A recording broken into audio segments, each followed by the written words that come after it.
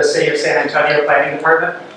Um, This is the eighth meeting of the Midtown Planning Team. Um, So I'd like to welcome uh, everyone else from the public who joined us tonight. This is a good opportunity to um, hear the discussion that goes on here and um, reflect on what we're doing and um, and be ready to provide some more input to us uh, in other venues when we come to visit neighborhood association meetings and when we have opportunities online to comment and the like.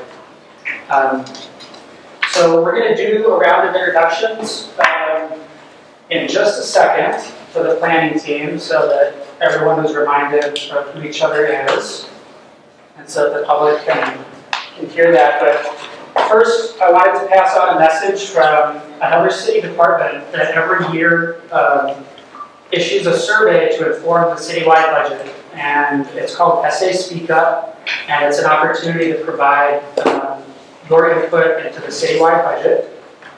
Um, there's a webpage, saspeakup.com, pretty easy to remember, that you can take back and share with other neighborhood residents. Um, and uh, the brief survey asked whether you think funding levels should be increased, uh, decreased, or maintained for several different city priorities.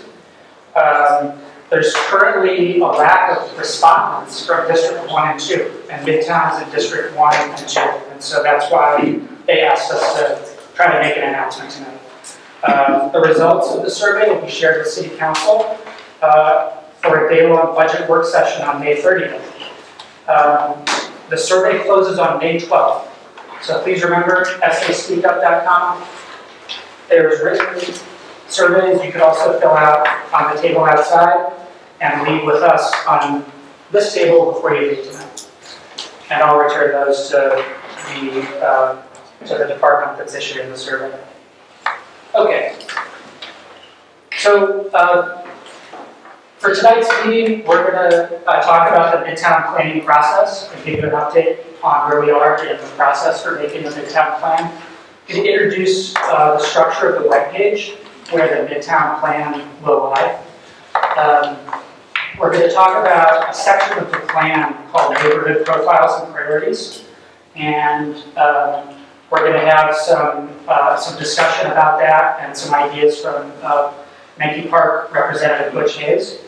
Um, and we're also going to have a continued discussion from the last two meetings about the future land use map and some urban design recommendations for Broadway. So before we dive into all of that, um, can you please start us off, Abe, with introducing yourself? Sure. Abe Waters, uh, representing Five Points Neighborhood. Jeanette Harmon, representing at large. Richard Farias, representing San Antonio College. I'm Mike Austin, representing Jordan Hill. I'm Colbert Hayes, representing San Antonio River Authority. Uh, Tim Mulder with New Metropolitan Transit. Graciela Sanchez with the Esperanza Peace and Justice Center. Butch Hayes, Mahncke Park. Lou Fox, Chair of the Midtown Tax Increment Reinvestment Zone.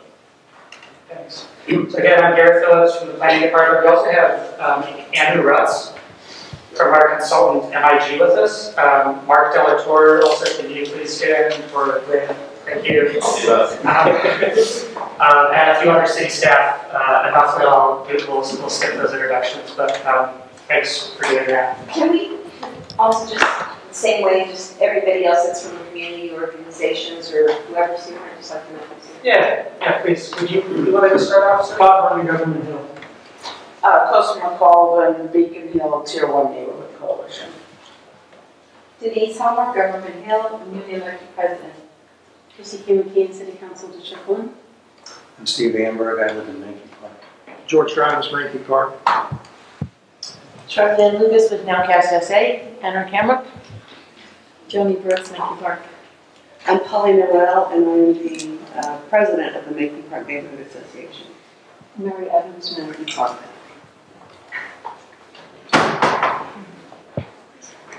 Yeah, could you introduce yourself? Cindy Tower, Government Hill. Thank you. I'm Bodega Funding, Government Hill. Um, I guess while we're at it, the rest of the staff, please. Good evening, everyone. My name is Bonnie Hamilton, and I'm with the Planning Department. Susan Gwynn, City Attorney's Office. Uh, Bridget White, Planning Department. Reading you, uh, Planning Department. Hey, welcome. Hi. Thanks for coming. Um, There is an open seat over here. So, in terms of the overall planning process, um, we started last fall with analysis of vision, last summer really. We started to work on some of the big overall uh, ideas and concepts for the plan in the fall. Uh, Created, started creating some maps about where uh, growth should be encouraged. Um, and left a lot of areas where growth should not be encouraged so much. Um, and then in the winter, we started working on uh, the future land use map and some of the other more specific recommendations for the Midtown plan. And so we're still in this phase of trying to create and refine some of the more detailed strategies. And we're getting very close to um, being able to put a draft plan online that will um, certainly still be a work in progress, and there'll be a lot of opportunity for people to weigh in um, by us going out to the community and by um, providing comments online. So um, after we release the draft plan on the Midtown webpage, um, and we have time to get some feedback as a final plan, there'll be a three-month adoption process um, that includes presentations to uh, City Council and the Planning Commission, uh, and ultimately asking the City Council to adopt the plan. Um, so we're in the, certainly in the latter part of working on the plan, um, but we also still have plenty of work to do, and there's plenty of opportunity to um, affect the final outcome. Um, so recently, some public engagement we've done uh, was primarily oriented to neighborhood associations, visiting each of the neighborhood association general meetings over the last couple of months uh, in Midtown to talk about the future land use map uh, and to talk about the neighborhood profiles and priorities, which we'll talk about a little bit more tonight as well. Um, and uh, in the next couple of months, as I said, the plan will be online. We'll be doing more neighborhood visits if you'll have us. Uh, we'll be doing other intercepts uh, around the community. And there will also be a larger community that we'll host and invite people to come to us if, uh, if they are able to do that. So the Midtown Plan webpage, uh, the, the plan will primarily be online. So um, it'll be the same webpage that we've had for some time, and it's midtown.saplan.com. And there'll be a series of tabs where one can find the draft plan. And there'll be some options to choose from where you can go to existing conditions or the vision and goals, um, implementation strategies, and the like. Um, if you click on any one of those tabs, there'll be a page that has a lot more content where you can click on one of these, like land use or housing or economic development. And from there, there'll be lots of content that you can scroll down through and review what's in what's in the plan. So that'll be the actual form of, of the plan. And there'll be opportunities to comment um, throughout it, both in the maps uh, and on the text. By the way, as part of that uh, focus, are you looking at some of the deficiencies within the area also as far as uh, land rehabilitation, volume structures and all that? That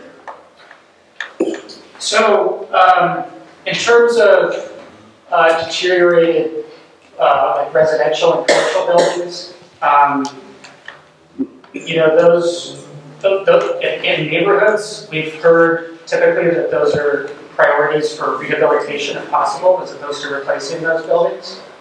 Um, and um, in other areas, like along a mixed-use corridor, if it doesn't have some essential historic character, though it's an opportunity for more people to use a new building.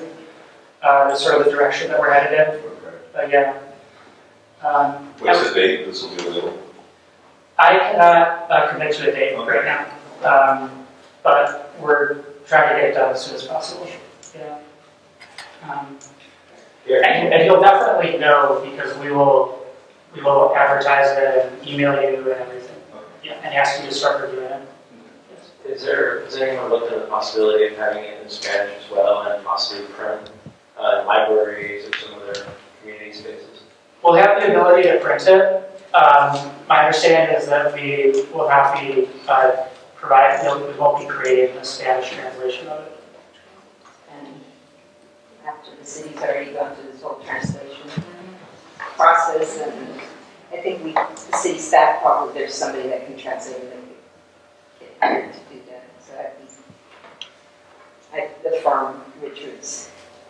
It'd be nice. I mean, it's, it's, it's where the city seems to be going. And I don't know what the plans are for the other areas that are having planning teams, but I'll, I'll talk with our team about it, um, but it's, I don't think it's something that I'm in a position to say that, that we can do just for Midtown, for example. So we have to think about. Oh, no, that should be for all, I think it should be done for all. Not just me. Yeah. Think it's all of them, yeah. But who would we address that with? Should we send that comment to? Um, Well, that's something, that's something we could look into, because there was a, we have translated one particular document that was in a few years ago. Um, it did cost a few thousand dollars, so we're looking at actually thirty plans, so we have to look at that in the budget to see. Or are there particular sections that we would, maybe the executive summary, because some of it may be a lot, of- maybe technical, but that's something we really need to. You can also make a comment on that going forward in the RFPs for anything that we do that's community-based like this, and we just simply put that into the scope of work. Um, in a community like ours, I think it would be just common sense for us to continue to do that. So I would like to make sure that that's noted. Okay.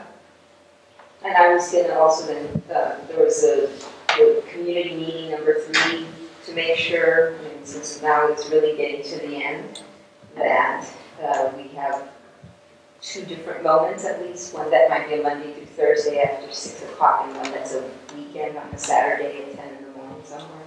Mhm. Because people work, and I, I haven't been impressed by the numbers of people showing up for those community meetings. Okay, I'll see what I can do about that. Um, I'm not sure I'll be able to, again, if the rest of our other plans aren't having two of them. Um, it's, uh, it's most of our department that works each one of them. Um, but, uh, it's valuable input, I understand, you know, a weekday evening and a Saturday morning can get more people to participate potentially. Um, We'll also be trying to um, provide other opportunities besides the community. More than trying, that I can say we will be doing. The city, the city had thirty-one million dollars surplus after six months, I think there's some money that we can set aside. And I know that at least Councilman uh, Debbie would probably be supportive of this. Um, So the next thing that um, I was hoping we could move on to is the neighborhood profile and priorities. And so this is a section of the plan um, that uh, summarizes some of the unique and local uh, existing conditions and and primary issues for each neighborhood. Um, And also some of the highest priorities for things that should be done in the future. And I'm going to tell you for just a moment about what we've been doing to create these. And then, um, as I indicated earlier, Hayes uh, has some thoughts he'd like to share, and we have uh, at least several minutes to talk about this before we uh, move on to other things. for. So, the neighborhood profile of priorities um, is a way for us to try to integrate, again, the uniquely local issues uh, for each neighborhood into the Midtown plan. Throughout the rest of the plan, uh, the future land use map, um, the mobility and transportation section, um, the amenities and infrastructure section, there will also be uh, integration of some neighborhood priorities uh, and values. And that's certainly fundamental to what we're doing, is trying to incorporate uh, neighborhood values throughout the plan. But this section was intended to be something that's, that's really um, about primarily local issues um, that are really important to neighborhoods. Um, so we had it set up as uh, a chapter that offered a brief set of strengths, challenges, and opportunities. And then again, a very brief uh, list of priorities. And over the last couple of months, I've visited with uh, each of the neighborhood association general meetings in Midtown to talk about um, what kind of content they'd like to put into this section of the plan. A lot of the things that I hear are also useful for incorporating into other sections of the plan, and so it's been really helpful to make the rest of the plan better as well. Um, and um, we started that process out by making an initial draft because we'd heard at community meeting number one, community meeting number two, and other neighborhood visits in the last year, some of the, the relevant issues and priorities. So we, we just created an initial draft to discuss. We visited the neighborhoods, um, we've revised the draft, and um, we're, we're now going to be doing some more work to continue improving them. Um, and um, with that being said, um, it's just a little bit of background information on some of those things. And I think that what you wanted to speak with us about, which is related, um, but not necessarily fundamentally about this chapter either. So I'll open it up to you. I know I have no copies for all the guests, but I do have copies for the people at the table. What I'm going to be talking about is the comprehensive plan, because it's more or less the driver for what we're here for San Antonio tomorrow. It's one leg of the three stools for the different plans, the border plan, the sustainability, and the comprehensive plan. And so what I've done in this sheet, uh, you're a good teacher, I'm not going to read it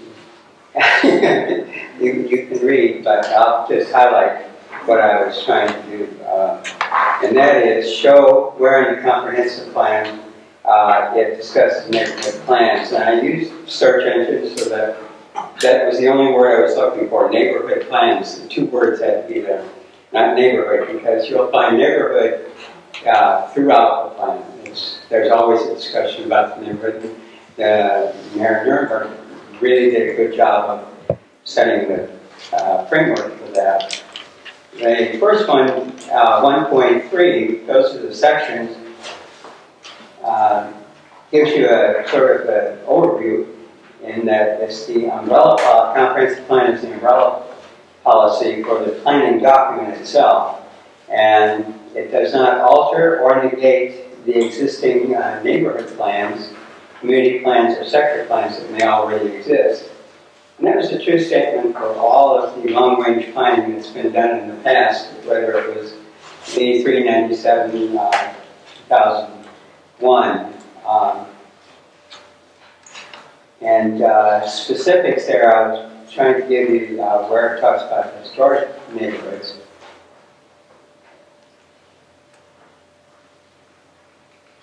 And number 17.2 uh, gives us some uh, things to think about, particularly as we look at the priorities um, and the snapshot uh, of our uh, priorities and uh, opportunities for us, that the subarea plans in particular should utilize existing neighborhood plans as the foundation document, and then use that foundation document to develop the, uh, help develop our neighborhood plan, uh, snapshots the uh, land use and uh, the land use document that will eventually be seen was did take because it was to use the land use plans and the neighborhood plans uh, as a starting point and going from there. And that's when, if I'm reading the city correctly, they found variances all over the place, uh, neighborhood plans and land use, and how they're uh, trying to pull those together. While the city's major transportation corridors often serve as the boundaries between the neighborhoods, uh, planning changes along the corridors have often not been incorporated. But looking, for example, at the Mahncke Park plan, you would see that there was a concern on our part, and it was for the buildings along Broadway, the businesses, and making sure that they were sustainable, and that we didn't have what we have right now, which are too many vacancies because the vacancies in buildings that are cavernous uh, lead to many other kinds of problems.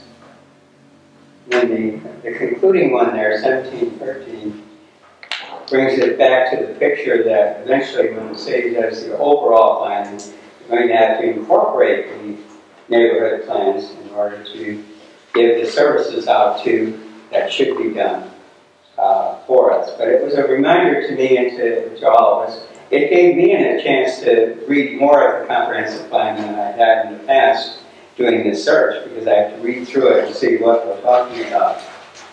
And I think that uh, what we find is neighborhood plans are important. And they're important and it's, it's stated uh, over and over again these building blocks yeah, that form the foundation for the San Antonio Plan. That's my take on it. After all, I said two weekends ago too. Go look at, go Google it, you can find Nowcast, we talked about uh, planning uh, and uh, San Antonio Yeah, the last neighborhood association meeting, we actually spent most of the time speaking about this instead of the, the, the plan. And it was, I think it was probably informative for most people there. And that was a good meeting because there's so many people that turned out for it. It was a good idea to move to a new location.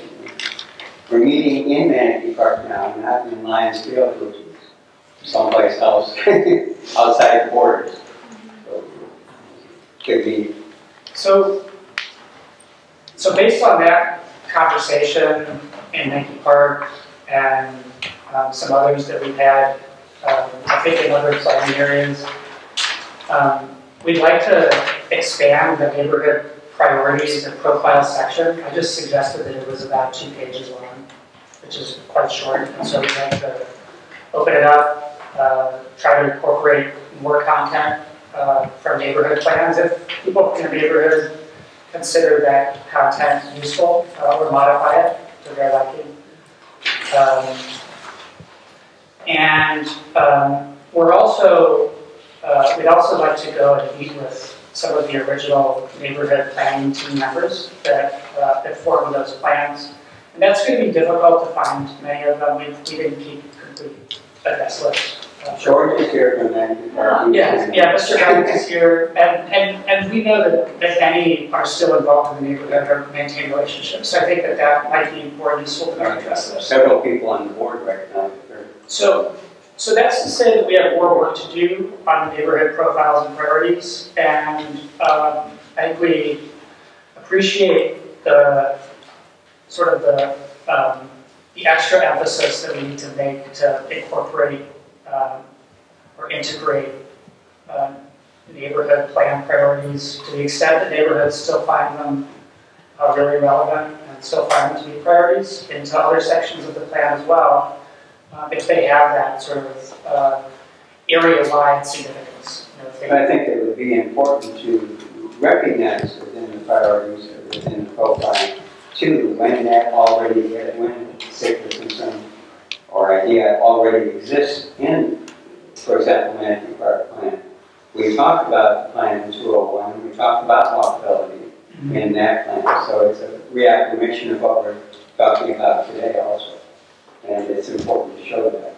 Andy, can you speak to that? Yeah, I can jump in really quickly. So, Yeah. one thing that you know, we've been hearing across the other five sub-area plans, and this is not a unique um, concern that we've heard, like in, in the Midtown area, we've been hearing it across all the plans. And I think Garrett, clicker, um, started to show what we had in terms of kind of the draft layout of the document. Butch's comment, one, one thing that I think is a, is a no-brainer to get in here is we had opportunities to denote on these priorities where a priority from the neighborhood scale aligns really well with the sub-area planning effort. Um, and then we also had uh, the ability to denote where maybe a neighborhood priority from Mahncke Park, let's say, um, actually aligns really well with one of our many other neighborhoods in any of the six sub-area plans. And one thing we want to make sure we get in here now is also a way to denote that this is a priority that's being carried forward from the existing neighborhood plan and kind of being re-elevated through this process. So Garrett talked about how you know the these sub-area planning efforts, the intention all along has been to really meaningfully integrate the neighborhood plans into these in a kind of a, um, a, a really distilled down document so it provides clear guidance to the city, to the private sector, and places that you know, the neighborhood really wants to see that investment. Um, but I think to Garrett's point of trying to make this more robust, we we love to hear the kind of things that should be in this sort of standalone document. So the idea is that each neighborhood that at least is interested and willing to help us out um, within each sub-area would have its own document. A couple of the other things we've heard so far from some of the sub, other sub-areas is that it would be great to have a place to memorialize the major accomplishments from the, the existing neighborhood plans. So a place to kind of celebrate the fact that, you know, let's say Mahncke Park, for example, the original plan uh, recommended conservation district, and that's in place. So it would be a great, it's a great time for us to kind of re reflect back on those existing plans and be able to say, you know what, this neighborhood plan really catalyzed this big idea. Let's make sure that we get it in this newer effort, and let's make sure that we're showing that demonstrated momentum. Um, but then also have a place to say, here are key recommendations that were in those plans, and and those that we want to make sure we prioritize, kind of elevate to this next level. So we can get whether it's a half dozen, whether it's two dozen, you know, neighborhood priorities that we say, you know, for the next 15-year horizon that these sub-area plans will help lead us towards. What are the priorities for each of the individual neighborhoods within these broader geographies? Did you share this, these priorities with us and I just getting anything? Whatever you shared with the neighborhood associations? No, we've just been working on it uh, individually with each neighborhood so far. And it's been in a very draft and rough form. And so we haven't brought the draft results to the planning team um, to review as, as a planning team. Yeah, because I feel what they need that information as we make any uh, future decisions. And I think that's the frustration. The last meeting that I recall was the land use conversation, and we were very frustrated, you know, having received, you know, uh, maps, and, and I was concerned, like, how can I sit here representing the community? Do they agree with this? And I think I wasn't, I, I wasn't alone, there were many of us, it was very a contentious meeting, and, and it was these priorities that we, like, how are we gonna incorporate what the neighborhood associations want when, you know, you've already, someone has already defined, you know, these large-scale buildings and dense buildings up and down Broadway or whatever. Parts of a lot of the conversation that day. Um, so, like, and I'm glad we've had these meetings, but I also don't have a sense of what Tobin Hill said, what Mahncke Park, you know, all the different community groups said, and it would be good to even get those comments, you know, to us as well, so we're reading because we weren't at those meetings. And I, I'd like to add, or just address that, because the land use portion of it, for each of the sub-area plans, the land use that was adopted in the neighborhood plan is the foundation for that land use for the sub-area. So we have taken that into account. So the land use that you're seeing or you've looked at is, is you can think of it as an equation. So it's the land use from the adopted plans, plus if there, if there's an area that has no adopted plan, we look at the zoning. And then we kind of add to that kind of our SA corridors, and we looked at land use along the, the, um, the transit corridors, and we add to that everything that we've heard from the planning team, plus what we heard from the community.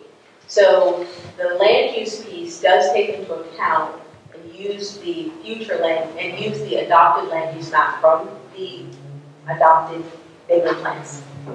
I think with this new, um, with this effort to really expand that, what'll happen in terms of our timeline is, as Garrett mentioned, we're gonna be talking to the whole planning teams in terms of, this is kind of the draft that we have to the priorities. Let's pull more from the the adopted neighborhood plans. Um, we'll take that also out to the community, you'll have a chance to look at that. But then that will come back to the, the planning team again. So you'll have a chance to look at that all again in terms of how everything is built on itself. In terms of the land use, plus everything that you said, plus input from the neighborhood, the old planning team, the old planning team members to get to the final product. So in a sense, it's like we're doing a quilt in a sense, um, kind of taking all those plans and kind of piecing them together for the sub area, and then each sub area we put that together to create the entire city. So everything will, it's more or less a circle. We always bring it back to you, but it's it's kind of a work in progress. So each piece builds on itself, and we have to vet it with you and the community. So it may take a little bit of time, but we kind of have to go through this process, but we're now extending the process to incorporate more of the neighborhood plan use of it. So it's incremental, you know, we have to get some feedback, and we'll come back, so you can see it all come together. And again, we're gonna take more time to do it. Sorry. Uh, yeah, and you started with the quilting, uh, analogy, so I'll take it.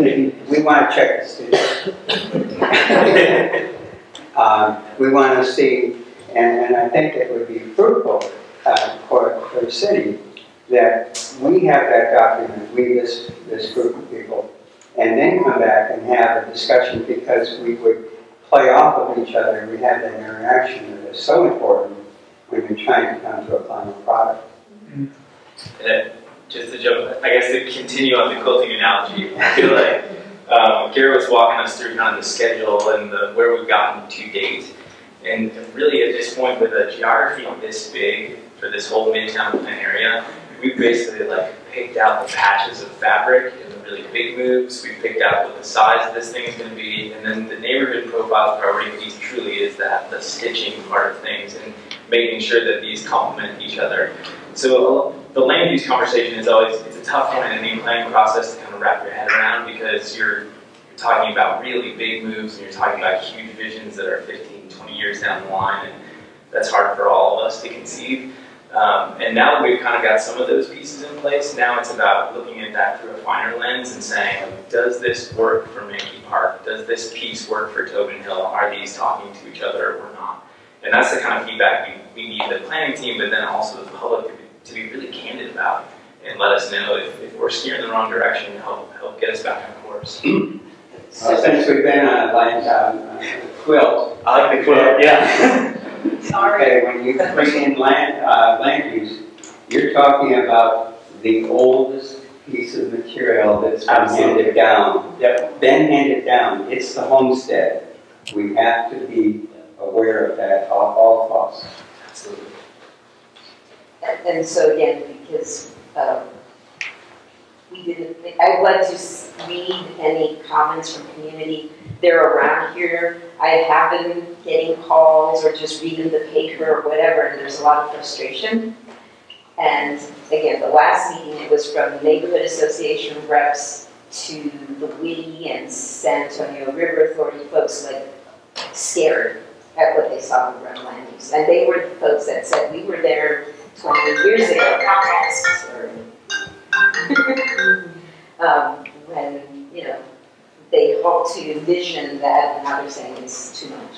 It's too much, it's too much. And that was, you know, so from people who are usually not recognized and respected, that, you know, on some level to institution stakeholders that are very much respected feeling the same way. It was very, and uh, scary to see that, and I, I want to honor my presence here, and I want to honor the people around this circle and the larger community, or, or I don't want to be a part of it, and that I don't want my name associated with it if, the community is very angry at the end of this process. So, um, so we will certainly share the initial draft neighborhood profiles and priorities uh, with the planning team. And um, we would like to do that with the rest of the draft plan as a whole. Um, You can see how the draft comes together and the different parts complement each other. And, um, and then continue to have opportunities to change it and improve it after that. Um, and in the meantime, um, we'll go further and, and ask you to continue, for example, tonight, weighing in on some questions that we have for the Midtown plan. Um, and they primarily relate to um, things that we talked about at planning team meeting number seven in February. So some some responses that we have, some potential ways that we can respond to, to that conversation and what we talked about then. Um, and also, um, you know, preview some questions that we'll be working on uh, as a planning team and with Mahncke Park neighborhood related to the land use plan, uh, the land use map in Mahncke Park. Um, and um, so, with that being said, is there anything else that you'd like to talk about related to the neighborhood plans before we continue trying to make some progress? Nothing, George? So, at all of the at all of the planning team meetings, we've, um, we've asked that the comments and discussion be limited to the planning team members. Um, and it's designed as a work session to get, uh, to get some work done as the planning team. And if we, if we do invite comments, um, from, from anyone, um, and are the guests, then it would probably only be fair to have an open discussion with everybody, and that's not, that's not what we, the expectations that we've set for the planning team in the past. Um, and so I'm gonna, um, ask that we do continue limiting planning team meeting discussions to the planning team. With that being said, um, I know based on our prior discussions that we have lots to learn, um, from you, sir, and, uh, probably from everyone else in this room. And I'm looking forward to uh, more conversations with our guests from Government Hill um, and Mahncke Park and every other neighborhood. Uh, and I, as before, have been available to visit uh, neighborhood board meetings, any community meeting, even if it's not a neighborhood um, or a neighborhood association general meeting. So please ask me to come uh, visit. Um, and I'll continue reminding neighborhoods as well to, to please have me come visit. Um, so, I'm sorry, if we invite anyone to speak, then it's, a, it's an open discussion for everyone. So, um, Here, I have a possibility. I wonder if we could just give cards to those folks to ask them to write down their questions, their comments, their concerns with contact information to get back to you and the staff so that you can be sure that there'll be some response or follow-up. Is that reasonable? Rudy, can you please help me get the comment cards off of the table in the hallway? Sure. And so, um, I don't want to reduce your concern. If you took the time to come here, you probably have more to say than um, can be expressed on a comment card. It's probably more nuanced or, or complex. So, I hope that you, if you do write some comment uh, or at least leave your contact information in the neighborhood that you're from, um, and we'll make sure that you know next time we're visiting your neighborhood. Um, and I'll also, uh, my business cards are also on the table outside. And, um, and you're welcome, anyone is welcome and encouraged to contact me at any time by telephone or email. I could also visit with small groups of neighbors. So it doesn't have to be some kind of official group. So, um, so far I haven't been overwhelmed with requests to do this, but continue to try to offer that opportunity. Here, I have them all stacked here. if you have a close look. Okay. Um, so the comment cards are stacked at the end of the table. Polly, would you pass, pass them around, please, or just pass the staff in case I- anyone wants to take one? I will, and while I'm Thank you. doing so, I would like to encourage the committee members to decide whether or not they want to hear from the representatives in this room and not leave the decision up to Garrett. This is y'all's committee. No, and I, I want to say that I've been trying to state some of that, and so I just don't want to be the only person, so I, that's all, I'm gonna try to support that. Um, My other suggestion is if you have questions, you want to write and give them to us, we can ask the question that way. I can't make comments though, because I don't know what y'all are thinking, but I don't know if there's anybody else that wants to. You could also share comments that come from the cards with the next, with the planning team, um, via email at the next planning team meeting as well. Um, Gary, if I might make a suggestion, mean, this I'm sorry, it's, it applies to city staff as well. It's, it's something I we mean, that's have, it's something we've been consistent about I, I since the beginning of the process. we're spending more time talking about comments than working on it, so at the Mayor's Housing Task Force, the policy is exactly the same, but at the end, people can go around and make comments. It's just a suggestion, and we do it for almost every other task force that the city puts forward. It seems reasonable here as well, but I'll leave that to you and for, for today. Okay, so we have until, the, the meeting is supposed to end at eight thirty. And we probably have a full discussion for the next hour and fifteen minutes. And as always, I stay until the last person leaves after the meeting. Um, But we did invite the planning team to come here with the expectation that we discuss the things that we said we would. And so um, I'm going to move on to the next part of the presentation and the discussion this. I would support moving as quickly to, not with that, with deliberately, but as quickly through the agenda as we can, and hopefully we might have time at the end before eight thirty. And perhaps that would work. I second that motion. I would like to try to do that. With the understanding that, that may or may not happen, but Well, I- again, I'd like to follow city process as well. I mean, and I want to hear from the community, and I wasn't at those meetings, and, and again, we don't have notes of those meetings, so it's very frustrating to then, you know, again, just make decisions without having heard those comments. and concerns. Okay, thank you for sharing. Garrett, just for clarification, Marcelo, are you talking about the meetings that Garrett had with the individual neighborhood associations? Yeah, uh, again, we're, we're just moving forward and, yeah, even those priority conversations or, or whatever it is, they're here, obviously, they're here in larger numbers than they've been at any of the other meetings that we've had, so there are concerns going, and, you know, people are frustrated about the process, and so the fact that Mahncke Park and Government Hill, and I'm not sure what other neighborhood associations are here, might be based on his visits with them and their concerns, so, you know, I. And we don't know what those are. And we don't know what those are. So we're being asked to give recommendations and review without the benefit of that information. So I think that's something that several of us are a little concerned about. We also have a representative from each neighborhood association who was at each of those meetings. Um, And that's why they, that's why they have a place on the planning team. I don't understand, that's one of my responsibilities being here, is to know those concerns and be able to.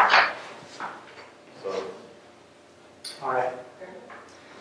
So at the last meeting at the Witte Museum, we talked about the future land use map primarily in relation to the Broadway corridor. And we also talked a little bit about Mahncke Park neighborhood areas. So at the prior meeting, we had had a fair amount of discussion about other parts of Midtown. And we, we had left uh, this discussion for planning team meeting number seven. So we had, um, in, in the initial draft land use map, we had identified a good portion of Mahncke Park neighborhood south of the park as, uh, as high-density mixed use to match uh, the existing zoning. Um, and we heard that that was inappropriate um, from uh, Butch. Um, there was also concern about it from the neighborhood uh, meetings that I attended at Mahncke Park. Um, and um, there was really, we were really encouraged to, to lower the recommended densities uh, for the land use map in Mahncke Park. And so um, we've done that, at least initially, and um, we've essentially matched large portions of Mahncke Park. This is really for discussion purposes, and it's really for a discussion that goes beyond tonight with the neighborhood. I'll be asking you to give us your blessing on this, uh, and, and it be being done with that. But trying to match some of the existing densities, sort of a low, low urban low-density residential, um, which describes uh, single-family homes, uh, duplexes, um, and um, potentially triplexes. Um, if the zoning already supports it. Uh, so it's the same in some of these areas south of the park as in the northern portion of Mahncke Park. And leaving some opportunities for a little bit more density in the middle here, but really nothing more than the existing zoning would support, which would typically be when you combine it with the design standards, um, uh, single family homes to duplex, triplex type opportunities. Um, and the overall pattern of lower versus higher versus higher density does mirror the neighborhood plan. And so more than anything, I wanted to show you that we're trying to be responsive to some of the concerns that we had. Um, we didn't have similar concerns in, um, in other neighborhoods um, on, a, on a widespread basis. So that's why we're calling out Mahncke Park, there has been more discussion about it. Um, and there's more work to do on this undoubtedly, I'm sure we'll get more comments on it. So throughout other residential neighborhood areas and, and planning team meetings and neighborhood visits, we talked about in the neighborhood residential areas essentially encouraging uh, a policy where zoning to have more density in the future would be discouraged and downzoning would be discouraged too. So essentially like existing rules in neighborhoods should mostly stay the same to promote some stability and also some moderate opportunities for growth. And that seemed like something that, for the most part, there was some acceptance of, and um, we didn't we didn't get messages to, to the contrary when we visited uh, the neighborhood associations in the last couple of months, except that um, again in Mahncke Park, there's there are some concerns about that, and there is an interest stemming from the 2003 neighborhood plan in changing the zoning to, to just match the existing uh, the existing density levels. So if the if the rules now allow a fiveplex, but you could only but there's just a duplex there right now. The neighborhood plan would have recommended changing changing those rules to just just a duplex from now on.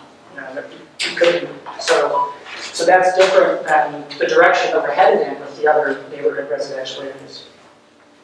And so it's something for us to discuss with the neighborhood and with the planning team going forward um, is whether we take an approach with the future land use map and text policy recommendations that are more aligned with other midtown neighborhoods or following the neighborhood plan, or there's also some other potential um, recommendations we can make to encourage specific types of housing, but not just any kind. Uh, for example, if affordable housing is a priority, um, or housing that's accessible to people with disabilities with a ramp and a wide hallway.